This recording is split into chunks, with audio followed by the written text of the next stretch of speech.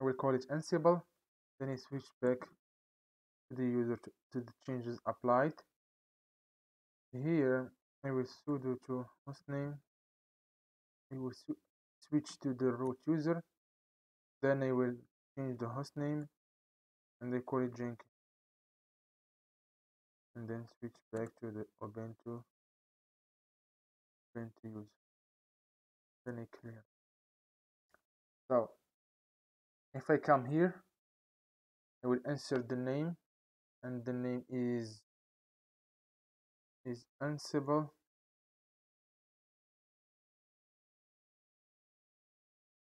And for the host name it is the, IP, the IP address right? Paste it here. And the username Abdelali and click on advanced then I will choose to use the password authentication right? And here I will enter my password of this user on this Ansible server. I hope that is clear. So if you still remember if you have watched my previous videos right? If we try to make an SSH we have to modify something. Because now if we try to test the configuration yes it show me that the configuration succeed. But I think I have enabled I have enabled that that feature previously. And that feature is try to edit the etc ssh ssh then sshd config right? And scroll down here. And then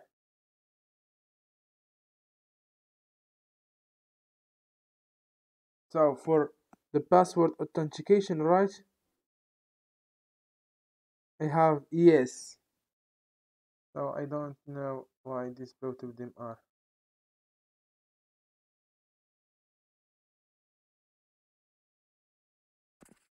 so password authentication.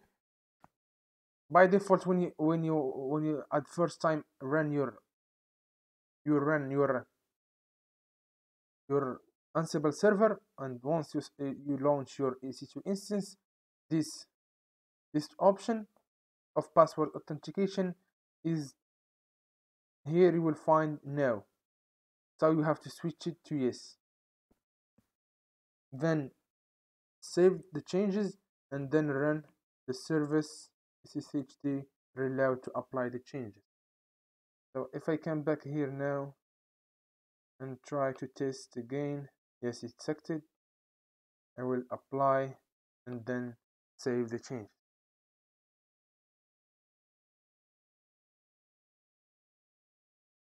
Now I will go to my github.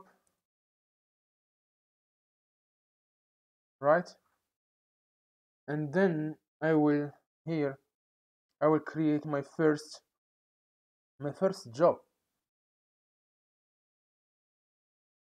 Don't worry if you are not familiar with Jenkins.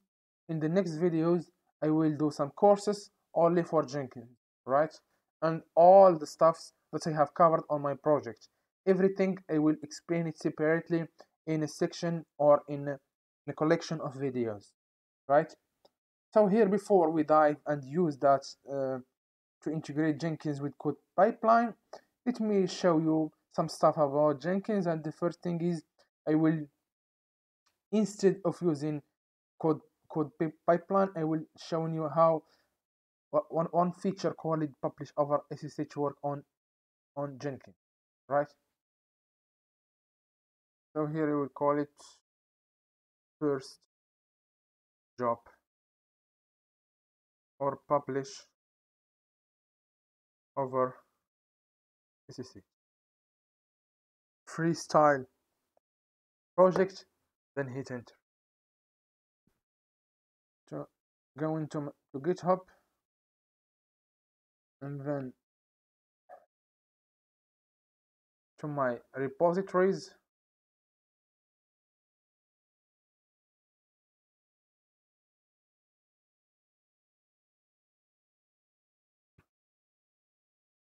right?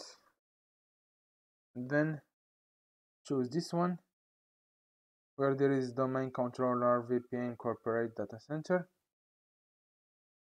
and try to copy its URL then scroll down here. As you have you can see here we have AWS code pipeline option but we are going here using it. Then paste that URL right? If you if you face an, an issue in the the source code management here if you if you face an error you have to make sure that git package is installed on on the system on your operating system that you are using during during running Jenkins. For example, here in Ubuntu, on Ubuntu, you have to make sure that Git is already installed, right? Then I will not to build, but I will just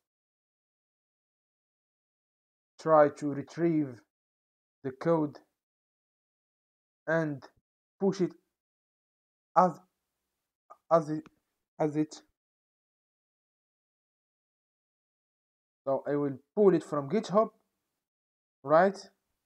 Then I try to push it to our Ansible server. So for source file I will type asterisk mean everything within this this workspace right and then the remote directory I want it to be DevOps.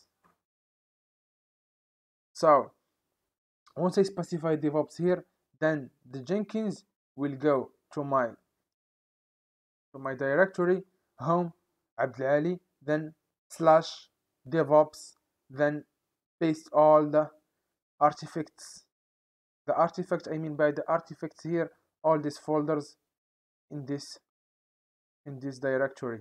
Let's call it DevOps. I have not created yet so let me create a directory and call it DevOps.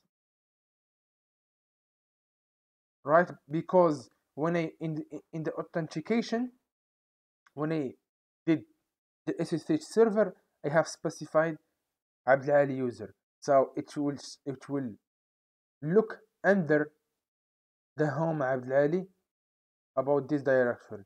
And when it find it it will paste the artifact. Now if I try to get in the DevOps there is nothing here. But once I will apply and save it will start to build our job. You have to wait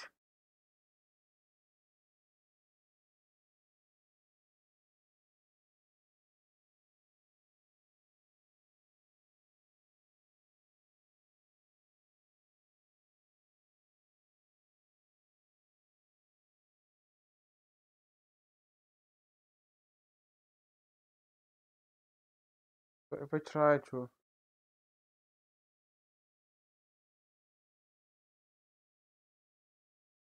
to build it now, try to refresh. So it is built successfully, right?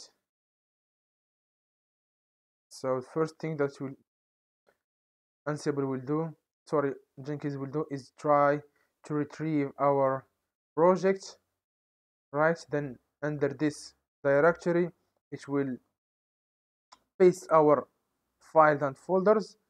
Then after that it will try to push them to Ansible. So if we come back here and try to list right we have here that